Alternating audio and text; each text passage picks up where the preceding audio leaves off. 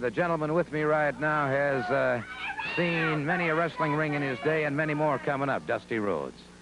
God, how come every time I come out here, Roddy Piper has to go to the bathroom? Or he got to go powder his nose? Or he got to go get some lunch? You know, whether it be Ole Anderson, whether it be Sergeant Slaughter, or whether it be in Carolina, whether it be in Ohio, whether it be in Georgia, whether it be in Louisiana, whether it be in Roanoke, wherever it's at. Dusty Rhodes, the American Dream, is always looking to be cooking, you understand? And I'm always cooking, shucking and jiving, peeping and hiding. That's right. That's right. And now then it's, it's forced upon me.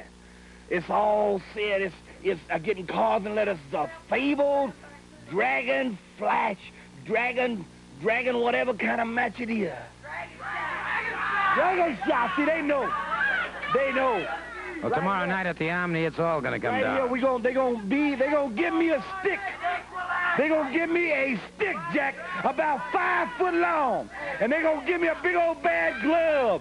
And then they're gonna give me Gary Hart, the master of destruction, with the great Kabuki, the most evil wrestler ever to set foot in Atlanta, Georgia, or in the Omni. And tomorrow night is my chance at destiny with the stick, the equalizer, as the man said. The equalizer is in my corner.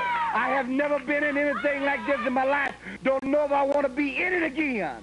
But what it will be is the most exciting time you ever seen in Gary Hart, no matter how evil you are, no matter how bad you are, no matter how wicked you are, when I get through beating Kabuki with that stick, I'm going to take it and jam it right up your... Hey,